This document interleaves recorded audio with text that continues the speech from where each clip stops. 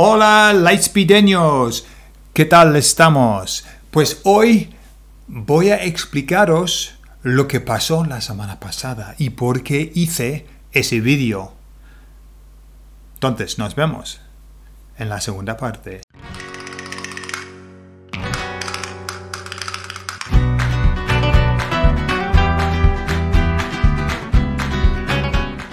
¿Qué pasó? Hace dos semanas recibí una llamada de mi hermana y mi hermana me dijo, nuestra madre ha tenido un, derrame cerebral, un infarto cerebral. Y aquí también dicen un ictus. Y está muy malita en el hospital. ¿Vale? Pues fue un domingo. Y no era lo que esperaba yo. Mi madre, aunque tiene 82 años, es una mujer muy fuerte, es una mujer físicamente fuerte y mentalmente fuerte, muy activa, eh, muy capaz, em, creadora. Entonces, yo no esperaba nada, nada de eso, de un infarto cerebral. Mi madre. Entonces, el domingo fue un día difícil de toda la familia en eh, llorando todos todos llorábamos. Y el lunes mi madre en el hospital en, eh, le, operaron eh, intentaron quitarle el coágulo del cerebro sin éxito sin éxito.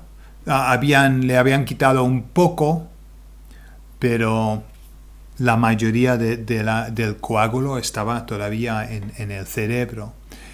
El médico nos llamó y nos dijo, eh, vuestra madre tiene el cerebro hinchado y en estos casos, después de, un derrame tan fuerte, es muy posible que separe el corazón.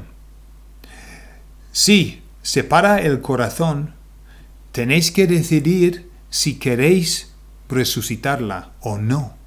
Y dijo el médico, yo que vosotros, yo la dejaría ir en paz. Eran sus palabras, literalmente. La dejaría ir en paz. Pues fue el lunes y, o el martes, no sé. Y claro, ¿qué, pensaría, ¿qué pensarías tú? Pensamos, vale, pues está a punto de irse. Eh, mm, cuando un médico te dice eso, de hay que decidir, mm, se puede mm, parar el corazón, es como... Pues estábamos en un estado de shock, la verdad, un shock. Em, pero dijeron, los, las próximas 48 horas son las horas más importantes eh, y pueden pasar cualquier cosa, puede pasar cualquier cosa durante estas horas. Pues estábamos todos desesperados y súper preocupados y cada uno llorando a su tiempo, a su vez. Pues pasaron dos días y mi madre seguía así, eh, allí seguía y, eh, la llamamos y, ella era capaz de decir sí y no. Y parecía, ¿sabes? Algo, algo. Y poco a poco, ya solamente han, han pasado dos semanas, la verdad es, ni eso, ni eso. La verdad es que me parece ser un año o dos años.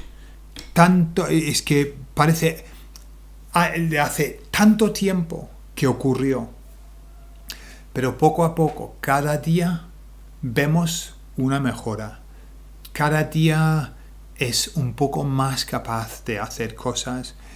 He tenido conversaciones con ella y ha podido recordar el pasado, ha podido hablar del presente, em, no habla bien y está muy cansada y, después de una conversación de, de, cinco minutos ya duerme mucho tiempo.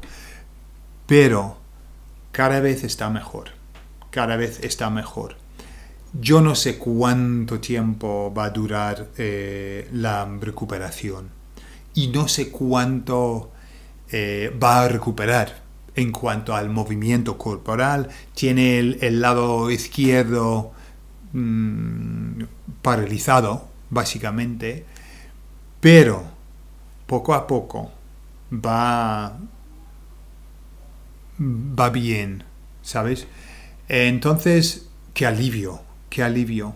Y sé que tiene 82 años, pero mi madre, siendo una persona tan fuerte mentalmente, que es lo más importante en estas situaciones, yo sé que va a poder, ¿sabes? Va a poder llegar otra vez a, tener una vida decente, decente. Claro que no, no va a tener lo que tenía antes, pero por lo menos todavía está con nosotros y por lo menos todavía podemos pasar tiempo con ella y ayudarla y, eso. Entonces, por eso hice el vídeo, porque no era capaz, yo no era capaz de decir otra cosa, eh, y en el vídeo yo estaba casi a punto de llorar, pero ahora estamos mucho mejor, ahora, y mi madre está mejor tiene un camino muy largo, yo sé, pero va, va bien y va, sigue en el camino hacia la recuperación. Entonces, gracias por los muchos comentarios positivos de vosotros. Sé que no me explicaba muy bien, y, pero ahora ya quería explicar exactamente lo que, lo que había pasado y por qué estaba tan yo alterado ¿vale? Pero ahora, ahora mejor y, eh, y, bueno, rezo cada día, rezo y, bueno, por favor, si podéis, eh, si creéis en eso, por favor, eh, enviadla energía positiva. Está en el hospital de Sunderland. entonces, por favor, energía positiva hacia mi madre para ayudarla. Muchas gracias.